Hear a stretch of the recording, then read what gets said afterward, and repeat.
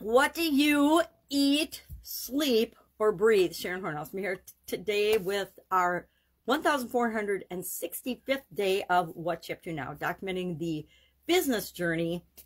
I used to say, and I still sometimes do, say online business journey because that's why I originally started this segment in 2018. I think I started doing this. I'd have to go back to look to the exact day. I don't think it was January 1st, but whenever it was in 2018. Been doing it for a long time. Whatever 1,464 days ago is because, or 66 days ago is because I missed one day and today's 65. So I haven't done that math, haven't gone back to look, but I did go back and watch that video, which was a, I mean, as, as rambly and weird as I am now, it, this is me. Uh, that was, oh, so bad, so bad, so bad, so bad. So today, my question for you is, what do you eat, sleep, and breathe? Our idiom for supersize your business was to eat, sleep, and breathe something. It's one that's been around since about the 14th century or the 1400s. And it, it's hard to know exactly and find the exact origin of it searching on the internet because that's how I do research. Uh, and you know, the internet isn't it, as amazing a source of information as it is, it's skewed information. And so we can't always find what we're looking for. And I look for a diverse array of stuff just with respect to doing these idioms. So the stuff that I get shown, it's it's sometimes you have to dig through hundreds and hundreds of pages to actually get at the origin of it. And be honest, I'm not going to do that much work for it because it's just my way of finding out what things mean, looking at them and saying, well, how would this or could this impact my business and your business and the business that we're trying to grow and create here in the world. That's the whole purpose of that particular piece. And to remind us that we get to decide what everything means, right? When I look at this particular idiom or any other idiom, I'm looking at it and the question I'm asking myself is, okay, I understand what they say it means as a definition, just like if you're looking up a word in the dictionary. Well, what does that mean to me? And our topic today and this month for the annual challenge, BU 365 day challenge to do one thing every day that improves us is all about emotions, this segment. I'm calling it a segment instead of a month because I think I'm going to make it evergreen and turn each segment into 30 days uh, down the road. I, I don't know exactly. You know, the first month of the year is 31 days. So there's already 31 days with respect to physical. Emotional, it's not a leap year, so we'll have 28 days for emotion. So then do I add 29, 30, 31? Maybe each month will be, or each segment will be 31 days. I could do that. Uh, but I don't want to do crossover in the annual challenge. This is to maybe do something with it in the future or to make it evergreen so people can hop in anytime. Because it doesn't matter if we talk about physical or emotional or any, it doesn't matter what order we talk about them in. What matters is that we cover all the areas and aspects of our life as we're uh, examining it and, and continually improving and becoming the better version of ourselves all the time.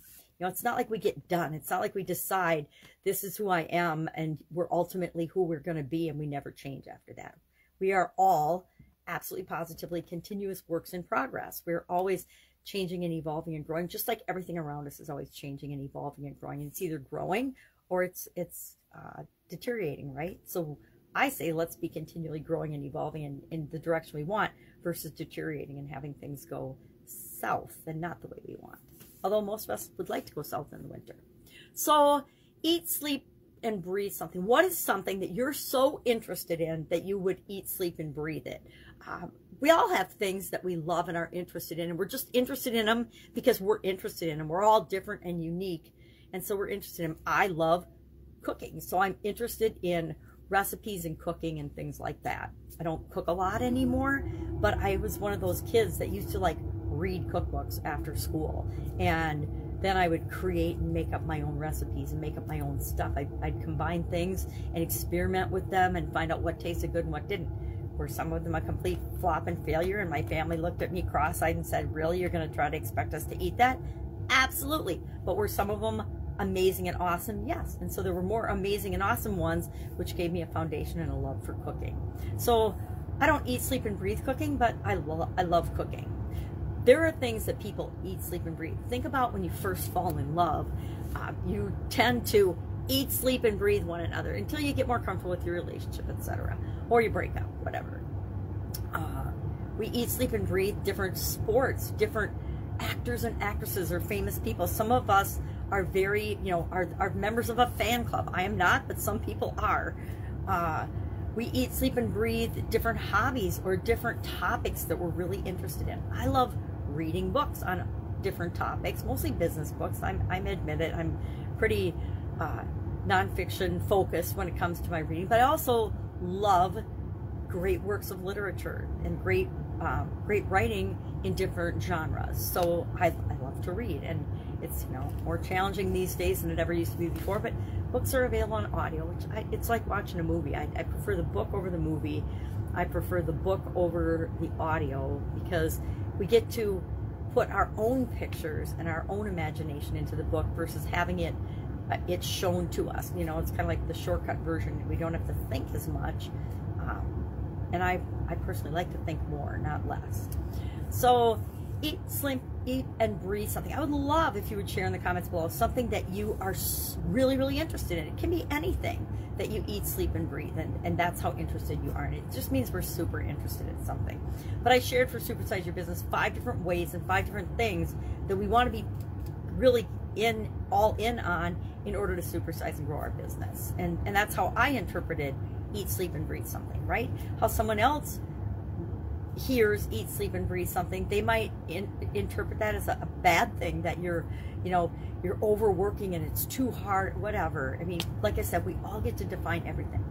For emotions, for our annual challenge today, we're talking about emotions. And today we talked about, hey, we're first and foremost emotional beings talk, talk about the difference between emotions and feelings and you know thoughts will come down the road from that because our thoughts people get and it does happen so fast. Sometimes it's confusing. We think that we're these rational thought-based beings and it's it's just the opposite. We're actually emotional physical beings first then our feelings come in because our feelings are the thoughts we have at a subconscious level about our emotions. Because our, our body senses things and our, our mind and our spirit sense things and that immediately turns into emotions. And then the emotions get translated by our feelings. And then after all that if it needs to go to our conscious mind then we start actually thinking about it on a conscious level and making objective choices about something. So that doesn't come into play until number one do we need we our body decides if we need to do something in, in our subconscious to get to be safe. We have a, a feeling in our stomach that we're in danger and we're afraid of something at a subconscious level, we, we will our body will pick up signals. We'll sense that, you know, and our senses will pick up signals. We'll emotionally feel fear and then we'll well we'll we'll sense the fear, the different fear things that in our body are messages, physical messages that then hit our subconscious and we get a feeling of being afraid or we're in fear. And then if it's a flight or fight, fight or flight, we have to do something and think to run away, then we actually consciously will think and then we run we run away and then we think about how we ran away because we were afraid of something. If that makes sense. I'm not sure I'm explaining it well, but that's how we work as humans. Even the the ancient Greeks knew that you could convince people to do something based on their feelings and their emotions alone. You didn't have to have a logical reason for it.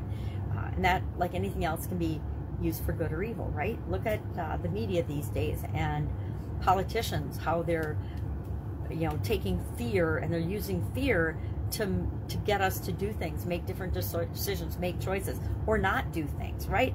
This whole COVID thing has been one big, massive fear manipulation on the part of politicians and media. And it's really quite disturbing if you step back and look at it. And some of us, we just choose not to participate, right? We're like, yeah, not watching your media, not listening to your big social media companies, just not going to participate in that. Now, you might say, but Sharon, this is Facebook Live or this is YouTube or wherever you happen to be hearing or seeing me. Uh, but the truth is, I use the tools to create my content and my things I want to talk about and the impact I want to have on the world. And then I get the heck off of them. I don't spend all day scrolling or watching the news or the media. I learned a long time ago, back in the 1980s, that I needed to turn those things off and decide on a conscious level what I wanted to feed my brain. Otherwise, guess what? We're subconsciously being programmed all the time by our environment, by the things that are just playing in the background. So what do I do? I choose what I'm going to have playing in my background.